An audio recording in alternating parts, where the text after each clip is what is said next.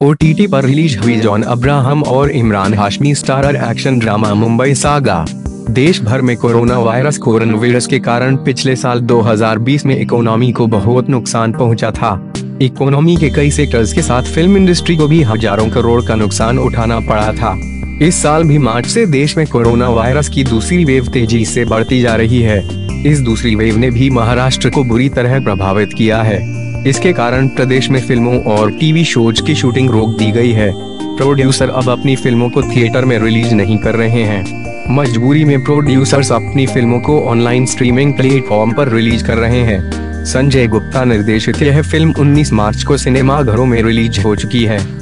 John Abraham, John Abraham और इमरान हाशमी, एमरुन हाशमी ने इस आगामी एक्शन थ्रिलर में पहली बार एक साथ काम किया है।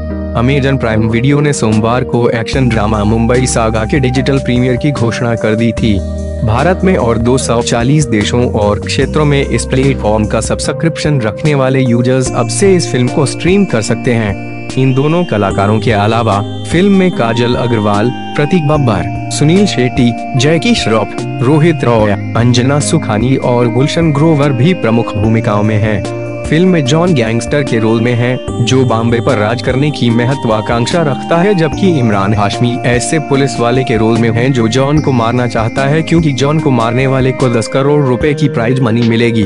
मुंबई सागा को 19 मार्च को थिएटर में रिलीज़ किया गया था। इस दौरान कुछ प्रतिबंधों के साथ थिएटर में फ़िल्म दिखाने की अनुमति थी, लेकिन प्रतिबंधों के कारण फ़िल्म के व्यवसाय पर बहुत बुरा प्रभाव पड़ा। थिएटर पर फ़िल्म मुंबई सागा अब तक 12 करोड़ बयासी लाख रुपया कमा चुकी है।